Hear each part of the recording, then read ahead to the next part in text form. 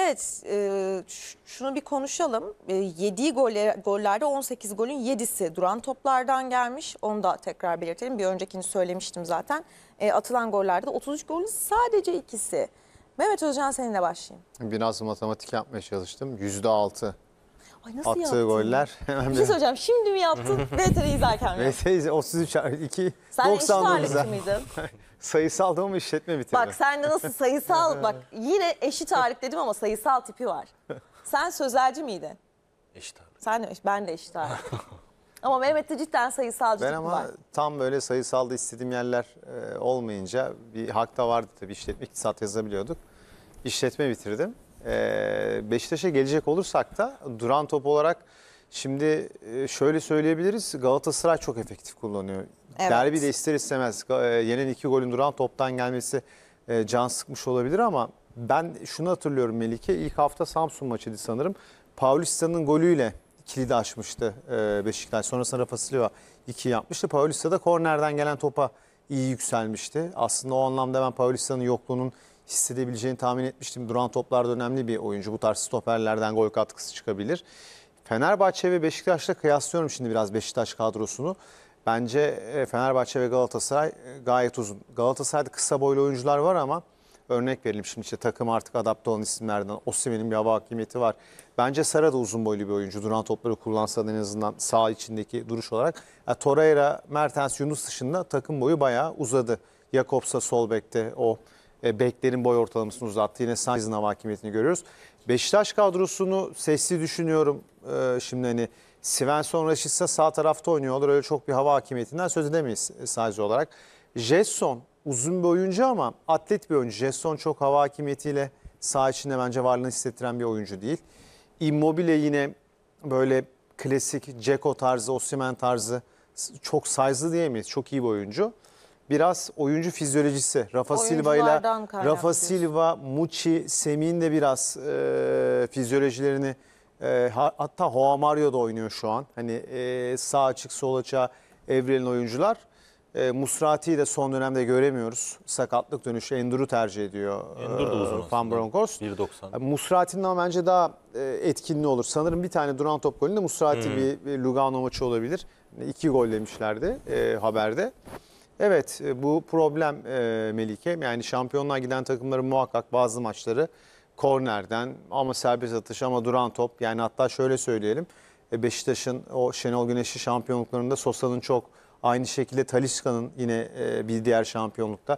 Beşiktaş'ın son şampiyonluğuna gidelim. Hatta Beşiktaş'ın şampiyon olduğu maç Göztepe maçıydı. Gezzal korneri kullandı. Vida gol attı benim hatırladığım. Yani yine duran topları hep şampiyon takımlar refleks olarak e, etkili kullanır. Beşiktaş'ın her zaman böyle oyuncuları olmuştu.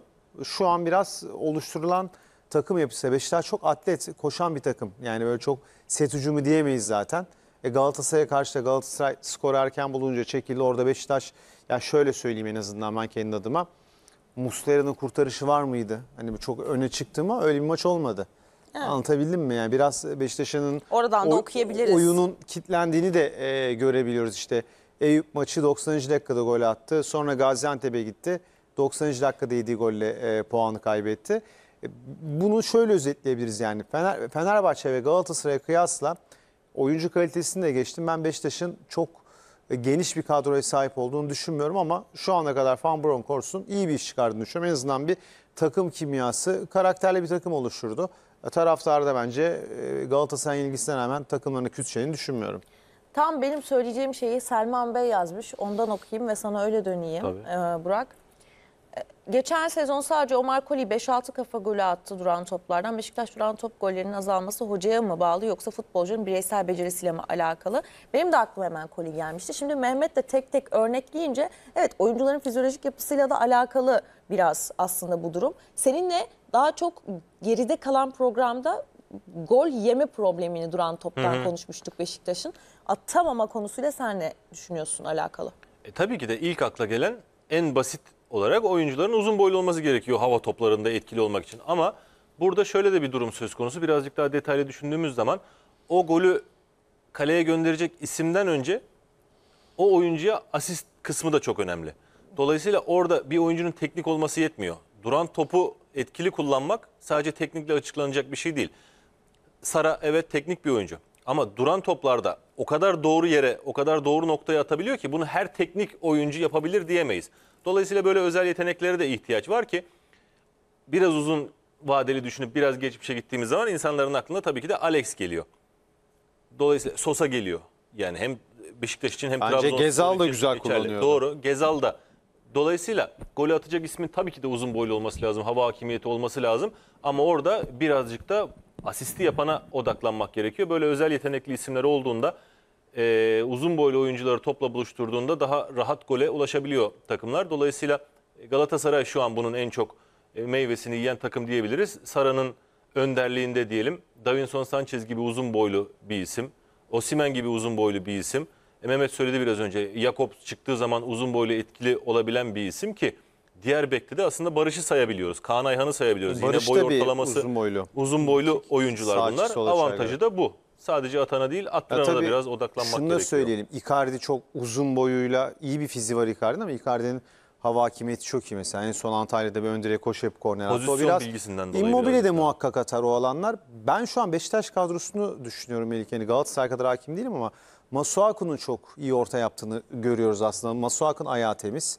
Svensson çok öyle hani kenardan ortalarıyla e, işte forvetleri veya forvet arkası oynayan orta saha besleyen bir profil değil. E, Rashica biraz daha dışarı pas çıkartır aslında hani ortadan ziyade. O pasları hatta Icardi'yi e, ilk sezonda bayağı efektif de e, kullanmıştı. E, Ya biraz sonuçlarla da ilintili. Yoksa Beşiktaş'ın e, hani çok duran top salt problemi değil. Ben hala e, kadro genişti yani burada isim de verelim. Jetson, Rafa Silva, Immobile Beşiktaş kadrosundaki alternatifsiz 3 isim. Biraz da Muçi'yi konuşacağız. E, attığı golden sonra daha çok konuşulmaya başlandı. Daha önce performansı eleştirilerek konuşuluyordu. Bir gol biraz daha oyuncuyu ön plana çıkardı ama tabii genel performansını da değerlendiririz. Önce bir haberimizi izleyelim sonra devam. Şimdi e, Semih'in 11'de görev alması çok beklendi, çok istendi. Dün de bunu biraz konuştuk. E, Oyuncu uzun süre forma şansı bulamadığında sonra biraz da o formayı kaybetmemek için bazen kendi e, potansiyelinin altında kalabiliyor. Bence bu e, ligimizde özellikle yerli futbolcularımızda çok gördüğümüz bir problem. Bireyselliğe döküyor. e- Evet çünkü mesela o pozisyonda belki pası verse, kendi denemese konuştuğumuz gibi. Maçın başı aslında Beşiktaş adına bir kırılma anı diyebiliriz. Yani orada da ama işte e, derbide gol atacaksın. Bu biraz belki sürekli oynayan bir oyuncu olsa o tırnak içinde bencilliği yapmayabilir. Ama oyuncu da bulduğu şansı değerlendirmek istiyor. Ben burada hep şuna bakıyorum. Bazen de böyle böyle kaybediliyor oyuncular. Ne dersiniz bilmiyorum. Burak seninle başlayayım. Bir önceki yayında söylediğim bir şeyle yine cevap vermek istiyorum. Bazı oyuncuların kötü oynama kredisi var demiştik. Evet çok güzel söylemiştin. o oyunculardan fazla yararlanılmadığı zaman, fazla forma şansı bulamadığın zaman kötü oynama kredisini elinden almış oluyorsun. Semih de bu oyunculardan bir tanesi ki şöyle de bir durum var. Semih'le alakalı fiziksel gelişiminin yeterli seviyede olmadığı haberleri çıktı. Bu nedenle forma giymediği haberleri çıktı. Dolayısıyla Semih'te de ister istemez bir baskı oluşmuştur. O pozisyonda da ben zannetmiyorum ki pas vermeyi düşünsün. Yine biraz önce Melike senin söylediğin gibi zaten az forma şansı buluyorum. Kendimi göstermek istiyorum ve bunu deneyeceğim. Ben de İç- yapardım. ben de yapardım ne yalan söyleyeyim. Ee, Muçi ile kıyaslanıyorsun. Birkaç haftadır forma giymiyorsun. Fiziksel olarak kötü olduğun söylendiği için forma giymiyorsun ve bunun e, aksini ispat etmek için ekstra bir bencillik olur tabii ki de oyuncularda. Semih de bunu yapmaya çalıştı. Kafasını hiç kaldırmadı bile. İçeride kimin olduğunu görmedi bile o pozisyonda. Ve çok kötü bir vuruş yaptı. Normalde e, Semih'in yapacağı vuruşlardan birisi de değildi ama dediğimiz gibi birazcık da kendi kendine baskı oluşturuyor oyuncularda bu tarz durumlar. Semih'in yaşadığı durumda bu. Muçi ile alakalı da şöyle bir durum söz konusu. Muçi oynadığında ya da sonradan oyuna girdiğinde direkt fark yaratan bir oyuncu değil bana göre. Kalitelidir. Hiç lafım yok ki. Geçtiğimiz sezon e, Beşiktaş'ın transfer anlamında çok büyük beklentilerle kadroya kattığı isimlerden bir tanesiydi. O da zaman zaman forma şansı buluyor. Van Bronckhorst burada birazcık daha eee başrolde diyebiliriz. Çünkü şöyle bir özelliği de var kendisinin. Bir oyuncudan çok kolay vazgeçmiyor diye biliyorduk açıkçası buraya gelene kadar. Şimdi onun da ters örnekleri var. Salih örneği var mesela ama E, tuttuğu oyunculara da sonuna kadar şans vermek isteyen teknik direktörlerden bir tanesi. Muçi'yi tuttuğunu da görüyoruz. Yani bu oyuncunun e, kumaşı demek ki hocanın istediği seviyede ve onu belli bir seviyeye çıkartmaya çalışıyor. Bunun için de belki de e, kendisinin hak etmediği ama forma rekabeti içinde olduğu oyuncunun kötü olmasından dolayı forma şansı bulduğu maçlarda da forma veriyor kendisine. Böyle enteresan bir o bölgede bir sorun var. Zaten haber yapacak kadar Evet. ayyuka çıkmış durumda bu e, ikilinin durumu. Muçi tekrar 11'e dönüyor. Semih Kulübe'ye gidiyor. E, kendisine gelen şansı birazcık daha dediğimiz sebeplerden dolayı bencilliğe çevirdi ve Muçi'ye bir şans daha verdi gibi görünüyor Semih. Aslında şimdi o bölgede ben ilk sezon başlarken yapılan transferleri düşününce kafamda hep şunu kurgulamıştım. João Mario transferi yapıldığı zaman 10 numarada Rafa Silva, solda João Mario'yu da oynatabilir, sağda Rashica diye düşünmüştüm. Evet. Hani zaman zaman e, oyuncuların durumuna göre Muçi ile Semih de e, kendine şans bulur o bölgelerde diye düşünmüştüm. Ama tabii sakatlık vesaire. Hocanın şans vermesi takdiri derken farklı bir noktaya geldi. Bilmiyorum João Mario ile ilgili düşünceniz de ne onu da konuşuruz. Mehmet sen nasıl yorumlayacaksın? Şimdi derbide yakından hani gözlemleme fırsatı da buldum. Özellikle Kaan Ayhan karşısında oynayan oyuncu.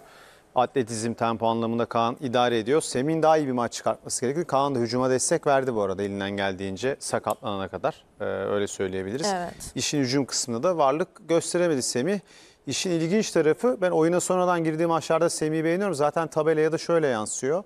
E, Gol asistten ziyade iki tane kritik penaltı kazandırdı mesela Beşiktaş'a. E, Bir tane Eyüp maçındaki kazandırdığı penaltı. Hatta Immobile'in 90. dakikadaki golüyle galibiyet de getirmişti. E, Burada şöyle olacak. Raşitsa dönecek. Raşitsa döndükten sonra oradaki bir tane mevki. Hoa Mario, Muçi, Semih. Kim gol atarsa oynamaya devam eder. Şu an için son golü Muçi attığı için Muçi yoksa e, demin aslında soruna ek olsun e, Melike. Ben Semih dışında Hoa Mario performansı da beğenmiyorum. Ho- Hoa Mario ile- Nerede oynamalı da biraz. Ho- Juan Mario ile ilgili yorumumu da söylemeli. Konudan konuya atlıyor gibi Yo, olacağım. hayır, olur. Galatasaray'daki Juan Mata'ya benzetiyorum. Yani bazen bazı oyuncular mevkisiz kalabiliyor değişen futbolda.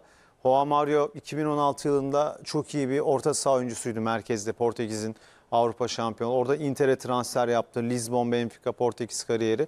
Her zaman Türkiye'ye transferi konuşulan bir isimdi ama Bence e, biraz artık e, günümüz futbolundan uzaklaşmış. Mata da aynı şekilde o kariyer e, United, Chelsea, Galatasaray'da 2-3 maçından fazlasını sayamayız. Joao Mario da şu ana kadar bence şans buldu. Hatta şöyle Tabii. güzel bir şans buldu. Sağ açık, sol açık artı merkez. Birçok bölgede de denedi onu Van Bronckhorst oyundan çıkanların ardından Joao Mario oyunda tutarak.